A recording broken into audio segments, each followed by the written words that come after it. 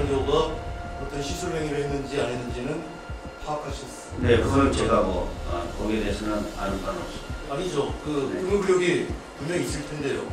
아, 그 안에서 이루어진 거뭐 의무 기록이라든가 그런 거는 제가 확인해 줄수 있는 사안이 아니고 만약에 궁금하시면은 해당 기관으로 문의하시면 해답이라면 어디 어디가 됩니까? 아, 청와대가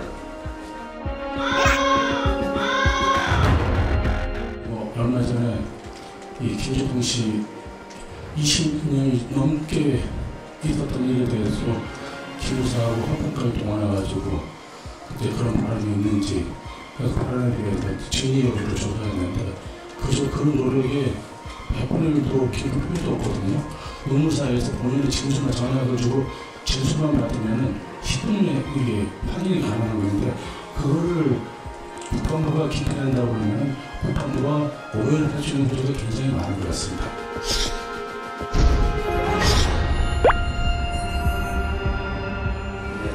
말씀인지 알겠습니다. 네, 또 간호장교가 지금 미국 유학 중이지 않습니까? 네, 미국 유학 중인 그 간호장교에게 세월호 침몰 당시에 시술 행위가 있었냐 하는 여부를 지금 파악할 수는 없습니까?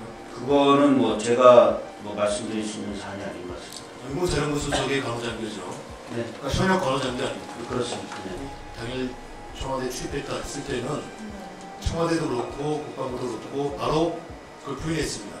수도 통합병원은 아니다. 딴 간호장교는 있다. 이렇게 말씀하시지 않았지 않습니까?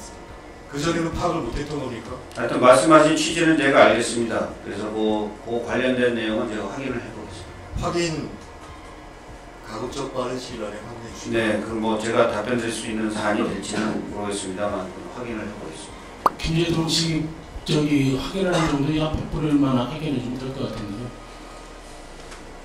또 추가.